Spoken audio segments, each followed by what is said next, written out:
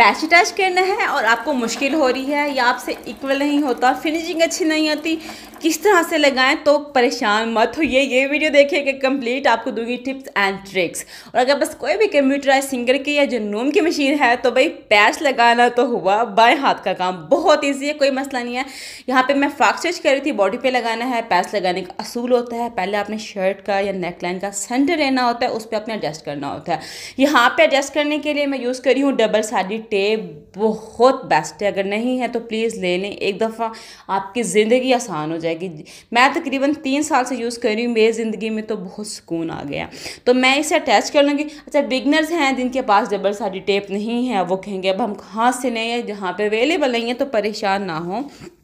U H U है ना थोड़ी थोड़ी करके ना आपने जहाँ पे ज़्यादा एम्ब्रॉयडरी अपनी यू एच यू लगा देनी है। यू एच यू भी नहीं है, हाथ से कच्चा कर लें या पिंस लगा लें फिनिशिंग आपकी अच्छी आएगी। अगर मेरे पास डबल सारी टेप आप देख लें जहाँ पे ज़्यादा एम्ब्रॉयडरी है फ्लावर्स पे मैं थोड़ा सा लगा दूँगी, छुप भी जाएगी फिनिशिंग अच्छी आएगी। जब हम इस पर सिलाई कर रहे होंगे ना तो हमारा पैच घूमेगा नहीं फिनिशिंग सुपर आएगी। छोटी छोटी चीज़ें होती हैं स्विमिंग के टूल्स होते हैं ले लिया करें, फ़ायदा होता है। यहाँ पे मैं यूज़ करी हूँ अपनी जुनूम की मशीन। जुनूम की मशीन से आप एरर आएँगे अब आप परेशान होंगे। यहाँ पे मैं फुट कर रही हूँ, ये एम्ब्रॉयडरी वाला यूज़ कर रही हूँ और टेंशन रख रही हूँ मैं फोर पे थ्रेडिंग मैंने प्रॉपरली कर लिया। अब आपको उसको यूज़ करते हुए जब प्रॉब्लम्स आएँगे ना बिगनर्स को, वो ही वीडियोज़ देख लें। अब जैसे ही मैंने फुट एडजस्ट कर लिया फुट एडजस्ट करना बहुत ईजी है। अब जैसे ही आप स्टार्ट करेंगे तो इसके लिए होता है कि फ़ीड डॉग नीचे कर लें। फ़ीड डॉग भी नीचे कर लें, फिर भी ये एरर दे रहा था थ्रेड नहीं हो रहा था तो मैंने इसको ट्रांसलेट सेट किया तो वो कह रहे हैं कि अपना थ्रेड को चेक करें। चले, मैंने कहा थ्रेड चेक कर लेते हैं। हमने थ्रेड को चेक किया प्रॉपरली फिर से डाला। आपके सामने करी हूँ जो जो प्रॉब्लम फेस करनी पड़ी है।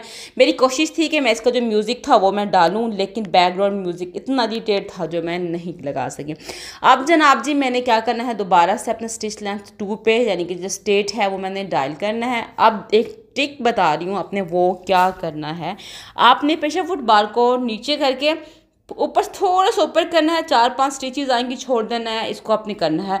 जब भी आपने एम्ब्रॉयडरी करनी हो, कुछ भी हो, एक पीस लेके आपने चेक कर लेना है कि वो चल रहा है या नहीं। अब मैं आ गई हूँ पैस पे। थोड़ा सा आगे लेके जा दूँगी, फिर आपने उसको पक्का करना है स्टार्टिंग में, क्योंकि थोड़ा सा मोटा होता है, पक्का ना कर जाएगा बार बार थर टूटेगा, आपके लिए मसला होगा। अब हो गया ना फ्री मोशन हो जाएगा, जैसे आप करना चाहें, आप कर जाएँगे। फुट को फुट के अलावा अगर मैं डायरेक्ट करना चाहती हूँ थ्रेड ब्रेकिंग बहुत हो रही है उसके बारे में मैं मज़ीद रिसर्च करके आपको वीडियोज़ बताऊँगी। अब डिपेंड करता है आपके हाथों के मूवमेंट पर अब नीटनेस आपके ऊपर डिपेंड करता है, क्योंकि स्टार्ट में मैंने फ़र्स्ट टाइम किया था स्टार्ट में थोड़ा सा नीट नहीं बना था, लेकिन फर्दर जैसे ही मैं करती गई थी नीट आया था। आप देखें, जैसे आपने रोकना है आप स्टार्ट करेंगी मशीन आपकी एरर देगी, नहीं चलेगी, जब तक आप प्रेशर फुट बार को नीचे करना है फिर आपने थोड़ा सा फुट के ऊपर उठाना आपकी मशीन स्टार्ट हो जाएगी, फिर आपने फुट को छोड़ देना है। बस आपने इस चीज़ का ध्यान रखना है। अब फ्लावर्स के अराउंड राउंड जो है वो मैं सारिया का अब देख रहे हैं, आपको मैं करीब से भी दिखा रही ऐसे करती जाऊँगी मैं। और यहाँ तक हम आ चुके हैं। यहाँ पर आप परेशान हो कि इतना स्पीड से करें तो हमारा नहीं होता। तो मैंने अपनी वीडियोज़ की भी स्पीड को डबल से डबल जो है एक्स किया होता है, यानी कि स्पीड तेज़ की होती है, अगर हम वैसे दिखाने लगे तो बहुत लंबी वीडियो हो जाएगी। ये देखें अब अब आप मेरे हाथों के मूवमेंट देखें कि किस तरह से कि अपने हाथों को मूव कर रही हूँ। अब डबल साइड टेप लगाने का क्या फ़ायदा हुआ? पैच हमारा बिल्कुल फिक्स है, वो कहीं नहीं हिल रहा और मैं बहुत ईजिली मूव कर रही हूँ। ईजिली जो पे एम्ब्रॉयडरी है, उसकी ईट कीट में कर रही हूँ। आप ये देख लें, मैं आपको प्रॉपर दिखा रही हूँ, कुछ स्किप नहीं करी मेरी यही कोशिश थी जो बिगनर्स कन्फ्यूज़ होते हैं, हम क्या करें। जैसे बस आपने स्टॉप करना है प्रेशर फुट बार जैसे कि मैंने ऊपर उठाया, आपने ऊपर उठाना है, उसके अराउंड आपने जो है, वो स्टिचिंग करते जाना है।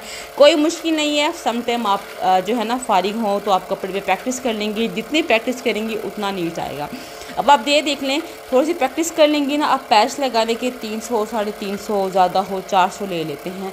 घर बैठे आपके पास मशीन है पड़े आपको तरीका भी पता चल गया फिनिशिंग के साथ ये देखें, हो गया ना डन ठीक है जी? अब इसके बाद बारी आती है ऑर्गेन्जा के फैब्रिक को हमने कैसे रिमूव करना है, इसके लिए हम यूज़ करेंगे सोल्डरिंग आयरन इसको काव्या भी कहते हैं। इसको मैंने गर्म कर लिया। अब यहाँ पे बहुत सारे लोगों का डाउट होता है कि हमारी एम्ब्रॉयडरी जल जल जाती है। तो मैं आपके सामने कर रही हूँ। इसमें बिल्कुल भी एम्ब्रॉयडरी नहीं जल, जल नहीं जल रही। इसमें जस्ट एक ट्रिक होती है। आपने उसको देखना होता है। ठीक है जी? अगर आप कहेंगे तो अलग से इसकी भी वीडियो बना दूँगी। और बहुत सारे पूछेंगे कितने वाट का है? ये है थर्टी वाट का है मेरा जो है सोल्डिंग आयरन ये किसी भी इलेक्ट्रिशियन की शॉप से आपको ईजिली मिल जाएगी। हो गया डन नाइसली डन हो रहा है। बस आप फिनिशिंग बाकी जो होती है ना वो आपके हाथ में होती है। आपने अच्छे से। अगेंजा को ना आपने काव्य लाजमी करना होता है, अगर आप नहीं करेंगे ना तो इसकी तारे एम्ब्रॉयडरी से भी आगे थोड़ी थोड़ी निकलती रहेंगी, क्योंकि ये ब्लैक है और ब्लैक की पैच के ऊपर एम्ब्रॉयडरी है तो वो इतना विजिबल नहीं है। अदरवाइज़ अगर दूसरा कपड़ा होगा तो वो दिखेगा, वो बुरा लगेगा। इसलिए एक बार काव्य ले लें, इन्वेस्टमेंट एक दफ़ा होती है, लॉन्ग लाइफ ये चीज़ें आपकी चलने वाली होती हैं। हो गया डन और फिनिशिंग है जनाब, आपके सामने कितना खूबसूरत लग रहा है। लग रहा है कि आपने पैच घर में अटैच किया है, बस प्रैक्टिस की ज़रूरत होती है, मज़ीद हम खूबसूरत करेंगे। यहाँ पे मैंने अटैच कर दी हैं अपनी pulse I think number is the two वही पल्स मशीन ले ली। एक दफ़ा मैंने इन्वेस्टमेंट की थी अपनी पल्स की और वेरिएशन मैंने कहा था ना आपके हाथ में है आप देख लें कि ये पल्स लगने के बाद इसकी फिनिशिंग कितनी कोई खूबसूरत लग रही है और आपको मैं आगे चल के वेयर किया हुआ भी प्रॉपरली दिखाऊँगी कि ये किस तरह से लग रहा है। वीडियो अच्छी लग रही हो ना तो लाइक करना मत भूलिएगा। न्यू है सब्सक्राइब करना भी मत भूलिएगा। और मुझे अपनी ढेर सारी दुआओं में याद रखिएगा कि आपके लिए इस तरह से इन्फॉर्मेटिव वीडियोज़ लाती रहूँ। ये देखें जी हो गया ना डन बाजू भी देख लें फिनिशिंग भी देख लें, अच्छी है। तो मिलेंगे नेक्स्ट बाय बाय